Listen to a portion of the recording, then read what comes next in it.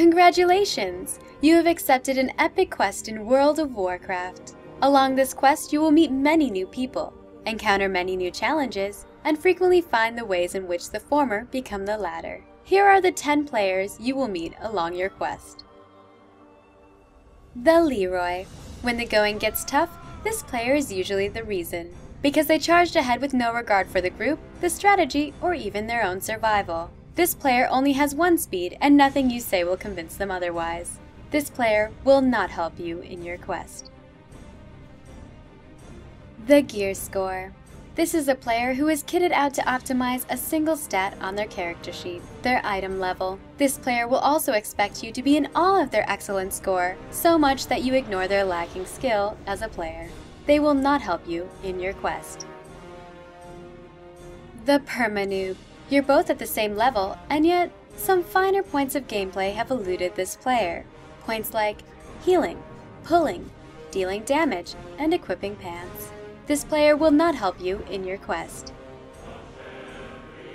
The Mimetic. Unlike the Leroy, this player will not charge forward. That's because they'll be too busy quoting every bit of pop culture humor in history at you, while you actually are trying to charge forward. They will not help you in your quest, unless you want to hear every possible variant on jokes about arrows and knees.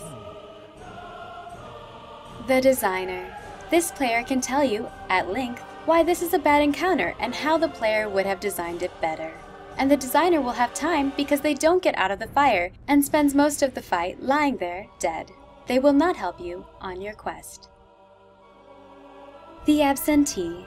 This player has to go away from the keyboard more frequently than a 911 operator on New Year's Eve in Detroit.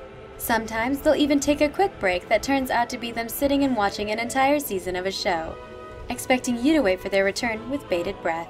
They will not help you on your quest. The Recruiter.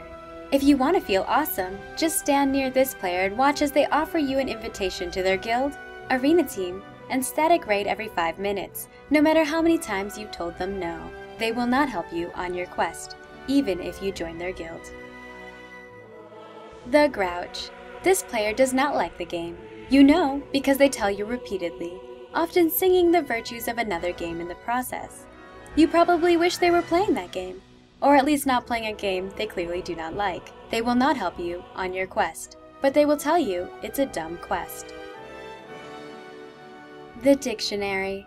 We live in an era wherein you can pull up detailed information on any quest in a span of seconds. Despite this, the dictionary will feel free to give you a boss description only marginally shorter than a TED Talk before the pull only to ignore all of that and make simple mechanical mistakes throughout the encounter.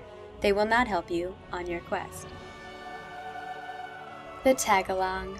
Despite everything, you are on the last leg of your quest, at which point your guildmate returns to the keyboard, sees that you asked if anyone wishes to come along in guild chat, and says, yes, when they're back at the first step of the process you started three hours ago. But at least they will sort of help you on your quest once they catch up.